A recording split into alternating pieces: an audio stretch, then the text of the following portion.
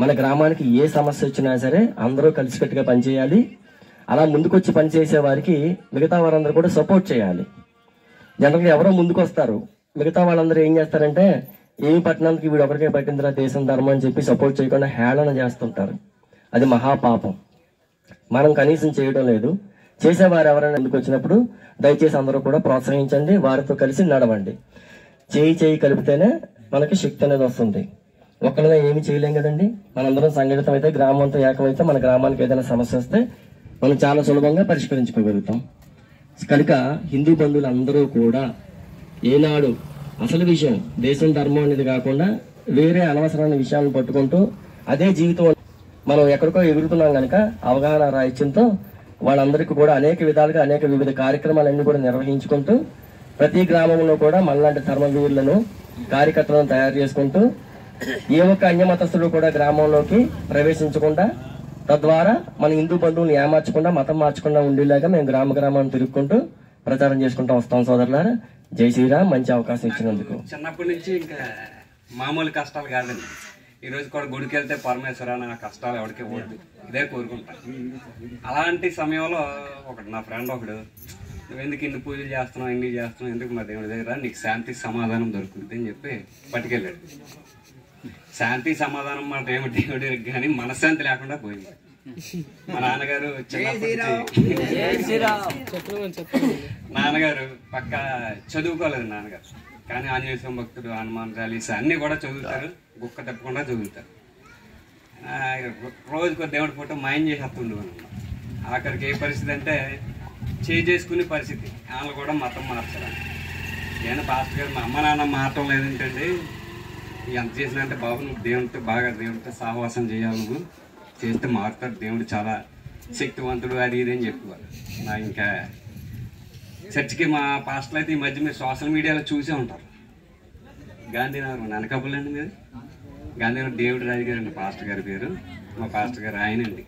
అంటే ఏ చర్చ్ అని ఇక్కడ చాలామంది మన వాళ్ళకి వచ్చింది వేస్తారు దేవుడు రాజు గారు. ఈ మధ్య కూతుర్లని కూడా ఇంకా ఇక్కడ మాట్లాడకూడదు.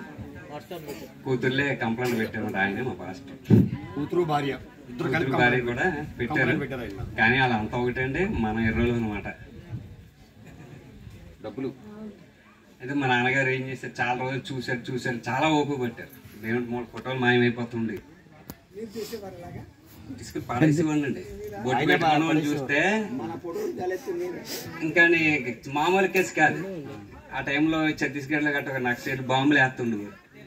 ఈ గుళ్ళు మీద వేసేద్దాం వాళ్ళు ఇస్తే బాగుంది నాలుగు బాంబులు. అంటే అంత ఉన్మాదంగా తయారు చేశారనమాట నువ్వు మారడం కాదు కానీ అన్న మీ తల్లిదండ్రులు మార్చాలి మీ చుట్టుపక్కల వాళ్ళు మార్చాలి. నీకు అలాగైతే అన్ని బ్రహ్మాండం జరుగుతాయి. బ్రహ్మాండంగా జరుగుతాయి అని చెప్పేసి ఈ విధంగా చేస్తే దేవుడు లేదు ఏమీ లేదు మనశ్శాంతి లేదు. ఆఖరి మా తల్లిదండ్రులు కూడా కొట్టి పరిస్థితికి వెళ్ళాం. కొట్టుకునే పరిస్థితి. కొట్టే పరిస్థితి. నాలుగు కొట్టి సాహసం చేయలేదు ఎందుకంటే కుర్రోళ్ళని ఎలా కొడతారు? చంపేస్తాడేమో అని భయం. ఎంత ఉన్మాది అనమాట మా నాన్నగారు చూసి చూసి చూసి చాలా ఓపిక పట్టారు అనమాట అంటే కొద్దిగా చెప్పలేకపోతున్నాం. చెప్తాను సరే అండి ఒక ఇంట్లో నువ్వు నువ్వు నా కొడుకుని పుట్టు. పక్కింట్లో మంచి తండ్రి ఉన్నాడు. తండ్రి ఉన్నాడు అని చెప్పేసి నేను దుర్మార్గుడిని దుష్టుని అని చెప్పేసి పక్కింట్లో మీ నా మంచోడు అని మీ నాన్న అని చెప్పుకుంటావా? మతం మాడడం కూడా అలాంటిదేనా నాన్న? మన ధర్మం మంచిది. అలాగే ఇంకొక ఇలాంటి గురువు గారు ఒకటి చెప్పారండి. కట్టుకున్నవాడు కాక్ కొనవలేదని. పరాయణ తగులుకోవడం ఎటువంటిదో మతం మారడం కూడా. కట్టుకున్నవాడు ఎప్పటికైనా కోరి తీరుస్తాడు ఏమంటే చీర కొనండి అంటే ఎప్పటికైనా అటు తీరుస్తాడు. అయ్యో ఈ నెలకు ఆగే. మరి ఇంట్లో సమస్యలు ఉన్నాయి. చాలా బాధలు ఉన్నాయి. నీకు తీరుస్తాను అని చెప్పి అక్కడతో ఆఫ్ చేస్తాడు. తర్వాత మనసులో ఉంటాడు. ఎప్పటికైనా ఆడు చీరగా ఉంటాడు. కానీ పరాయోడి వెంటనే కొనిచ్చేస్తాడు. అవకాశం. కోసం. ఎన్ని రోజులు కొనిస్తాడు ఇప్పుడు భర్త గొప్పవాడా? పరాయవాడు గొప్పవాడా? వీళ్ళు భర్త ఉంటే విలువ పరాయవాడితో వెళ్తే విలువ? అలాగే మన ధర్మం కూడా మన ధర్మంలో ఉంటే మనకు విలువ గౌరవం. ఉండడమే గౌరవం అన్నమాట. అలాగే మన గుడికి వెళ్తే దేవుడు ఇక్కడ అన్నదానం చేస్తున్నారు అందరూ కూడా భక్తితో ఇచ్చినా తప్ప భయపించి ఎవరు ఇక్కడ చేయమని చెప్పలేదు.